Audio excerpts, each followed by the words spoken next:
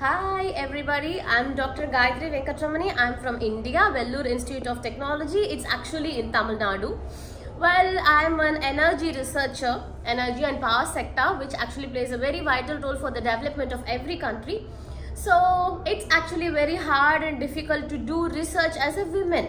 So it is very difficult part to struggle because in India we have to do work-life balance a lot. You have to do your work and you have to carry your family both in equal hands and you should never give up in both the cases. You have to balance both the things and to be a very very successful woman is really a challenging task.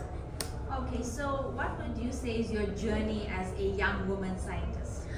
journey as a young woman scientist first of all it's either a man or a woman you should have the inherent passion inside you that you can you will in India, we have Swami Vivekananda. Hope you know who is he. He has rocked in Chicago. He said, arise, awake, stop not till the goal is reached. You want to put your goal, you want to struggle, then at last you will achieve. You should believe that you can and you will. And have you faced any challenges or are facing any challenges as a woman scientist? Yeah, we do. We do face a lot of challenges. As I said before, the work-life balance is very much struggle. You have to care for the family. At the same time, you have to care for your profession. Not only the work-life balance, as a woman, wherever we go, we do face lot of harassment.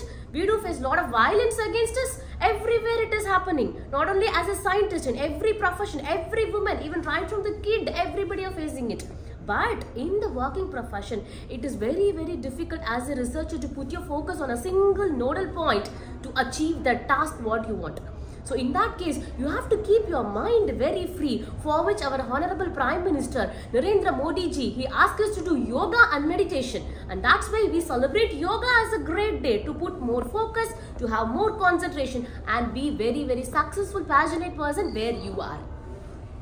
And what message or messages would you convey to ensure the next generation of women in science? Next generation of women in science. That's what I said. Never ever give up in your life. You should have a goal. Suppose if you want to achieve something in health sector or in agriculture sector or like me in the energy sector, first of all, fix up your field where you want to achieve and then try to read a lot read read read run run run only then you will understand what is the present technology what we are and what we want to do. You have to compete. The world is so competitive. You have to compete. So for that you should have the strong perseverance. As a young researcher as a young woman you have to struggle a lot. In one particular field you should enhance your knowledge. You should enhance your skill set. Not only your knowledge and skill set determines it even your attitude decides it. So knowledge skill set and attitude. I put in a reverse way. Ask that is ask that is attitude skills and knowledge. So if you build all the three then you are a successful woman in your own field. Keep rocking